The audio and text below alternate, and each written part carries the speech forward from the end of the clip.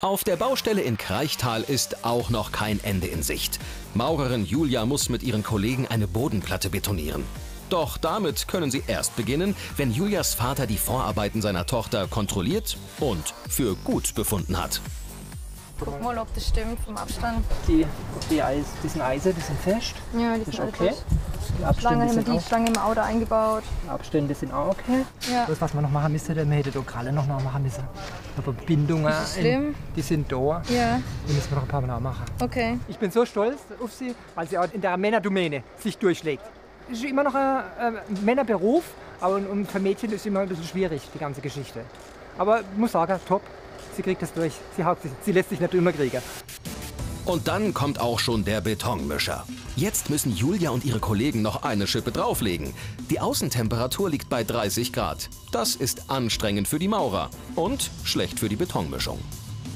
Wenn es jetzt zu warm wird, dann wird der Beton zu schnell ziehen. Wir haben jetzt Verflüssiger drin. Da geht es gerade noch so. Also da ähm, ermöglicht es halt die Temperatur, dass wir den bearbeiten können, also längerfristig bearbeiten können. Aber trotzdem muss man zügig vorankommen, dass es in einem Teil betoniert wird und äh, jetzt geben wir halt Gas.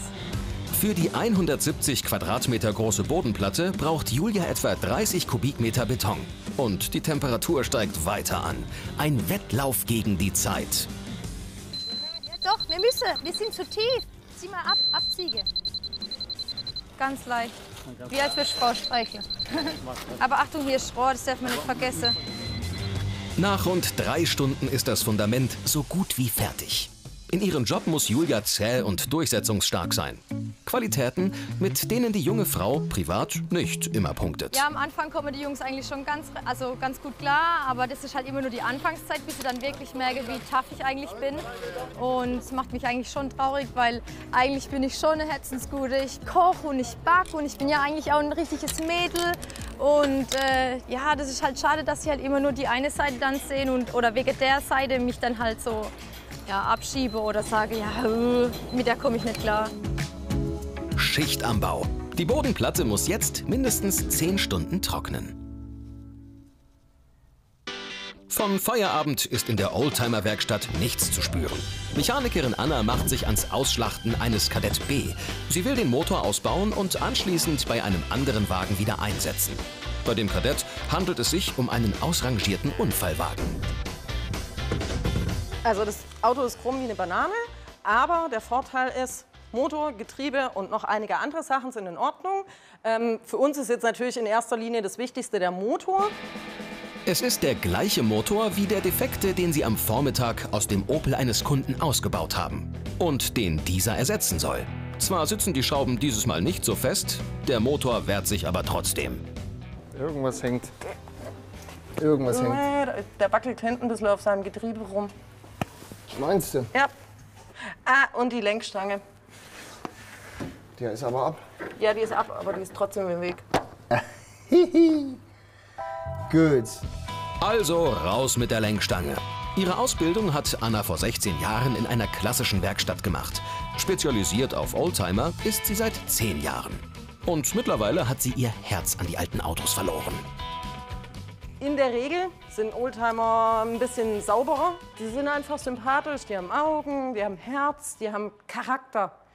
Weil auch wenn irgendwo was klappert bei meinen eigenen Autos, ich komme manchmal gar nicht dazu, das zu suchen, weil auf einmal dieses Geräusch wieder weg ist. Zwei Jahre später kommt es wieder. Also völlig verrückte Geschichten manchmal. Und diese Geschichten sind es, die Annas Schrauberherz höher schlagen lassen. So wie die Geschichte dieses Mercedes. Er gehört Anna und hat eine ganz besondere Bedeutung für sie. Die Leidenschaft ist mir wirklich in die Wiege gelegt worden, weil ich mit diesem Mercedes-Benz, das ist ein Ponton von 1961, Kombi, nach der Geburt nach Hause gefahren wurde. Also ich bin direkt vom Kreissaal in dieses Auto geladen worden im Körbchen und das saß. mir geht das Thema auch so tief, dass ich mir auch so ein paar Tätowierungen habe machen lassen. Maulschlüssel, Schraubendreher. Annas absoluter Liebling ist aber dieser Flitzer. Ein Opel Kadett B F-Coupé Automatik mit 60 PS aus dem Jahr 1971. Das ist eigentlich das Auto, womit Mario und ich uns kennengelernt haben. Das war eine ganz romantische Geschichte, wie man sich vorstellen kann. Nee, der Wagen war richtig scheiße und wir haben den zusammen aufgebaut und daraus ist so ein bisschen auch diese Beziehung entstanden. Zeit für Nostalgie bleibt keine. Schließlich ist der Austauschmotor noch immer nicht aus dem Unfallkadett ausgebaut. Und Anna muss den Motor heute noch in den anderen Wagen einsetzen. Ich glaube, wir haben sie jetzt hoch. Nach zwei Stunden ist der Motor dann endlich draußen. Alright. So, Lappen noch weg, damit es auch schöner aussieht. Auch den gebrauchten Motor will Anna noch ein wenig verschönern und lackiert noch schnell den Motordeckel. Um ihr Know-how wird sie von so manchem Mann beneidet. Ihr Faible für Autos kommt bei vielen gut an. Sie tun manchmal so, wie als ob das super exotisch wäre, wobei mittlerweile Frauen im Kfz-Beruf jetzt nicht mehr, äh, keine Einhörner mehr sind oder so. Ne? Gibt schon ein paar mehr als früher. Doch, aber es, es kommt schon relativ gut an, weil viele Männer ja auch von Autos gar keine Ahnung haben. Bis zu zehn Stunden täglich steht Anna in ihrer Werkstatt und repariert Autos. Gut, dass sie es nicht weit hat bis nach Hause. Schließlich wohnt sie auch hier und hat sich mit der Zeit ihre eigene Wohlfühloase geschaffen. Und dann gibt es noch so ein richtig besonderes Highlight, wo ich mich wirklich tiefen entspannen kann, auch mal runterkommen, über ein paar Sachen nachdenken, auch über Abläufe. Egal ob morgens, mittags oder abends am Wochenende, das ist wirklich der Place to be. Ein Ort der Ruhe, mitten im Industriegebiet, auf den die taffe Mechanikerin besonders stolz ist. Die Dachterrasse ist ja auch wieder so ein, so ein Selfmade-Projekt. Das braucht man als Abwechslung, einfach wenn man kreativ ein bisschen arbeiten will. Das ist nicht dreckig, es ist was mit Holz, es ist was mit Blumen und ist ganz nah an der Werkstatt dran. Wir haben ja alles. Das entspannt eben auch enorm, ne? mal so eine Abwechslung zu haben.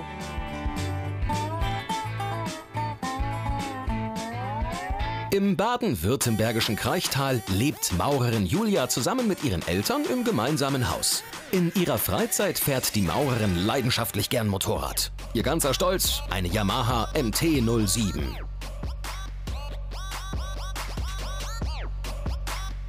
Wenn ich mit dem Motorrad fahre, da bekomme ich einfach meinen Kopf frei nach der Arbeit. Und was ich cool finde am Motorradfahren ist einfach die PS-Zahl zu spüren, das schnelle Fahren, wenn der Wind so entgegenprallt. Das ist einfach ein mega Gefühl. Deswegen wäre eine, also wenn jemand kein Motorrad fährt, ich verstehe das nicht. Das ist schon also absoluter Traum, also auch ein Traumgefühl. Und auch heute will Julia ordentlich Gas geben. Geballte Frauenpower auf 79 PS.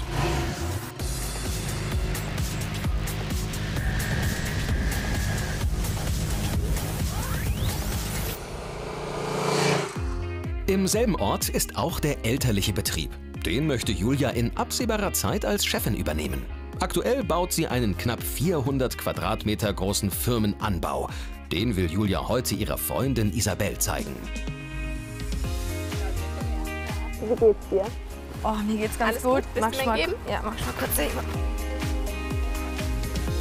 Aber es ist schon eine Weile her, dass ich hier war. Hat Ja. schon von außen echt hier einiges getan. Tatsächlich, ja, ja.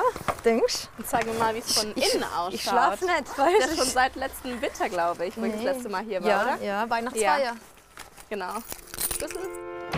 Seit etwa anderthalb Jahren ist Julia hier schon zugange. Jede freie Minute opfert sie dem Anbau. Ab und zu mit Unterstützung ihrer Kollegen. Den Stahlträger haben wir zu dritt eingebaut und äh, ja, Echt den ganzen ja. Stahlträger? Und den da hinten, ja, und den da hinten auch. Das war schon eine Ja. Mordsarbeit. Ich glaube, zwölf Meter sind die lang, ja. Okay, das ist schon massiv, ne? Ja, und die ähm, Bretter noch drauf gemacht, dass wir jetzt oben auch laufen können. Und dass Mhm. was passiert, dann oben auch schon angefangen zu mauern. Ich habe hier eigentlich fast alles selber gemacht, mit den Arbeitern zusammen, weil man nicht auch natürlich auch Geld sparen kann. Die Materialien kosten natürlich Geld, aber ich weiß ja, wie was funktioniert. Ich weiß, wie man betoniert, wie man mauert, wie man zum Beispiel Decke verlegt. Und da habe ich einige Kosten gespart und warum soll ich das nicht ausnutzen? Ein ganzes Jahr noch wird Julia mit dem Anbau alle Hände voll zu tun haben, neben ihrer eigentlichen Arbeit.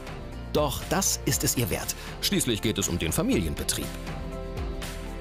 Klar, es ist auch irgendwo ein Druck da. Ich möchte ja auch, dass meine Eltern stolz auf mich sind und ich möchte ja auch, dass meine Eltern sagen, ja, da guckt, meine Tochter, die hat es durchgezogen, die Maurerlehre, den Meister und jetzt übernimmt sie auch noch den Betrieb. Ich will halt einfach, dass sie zufrieden sind und dass sie auch wissen, dass ihr Geschäft in gute Hände kommt. Bin ich voll stolz auf dich. Komm her.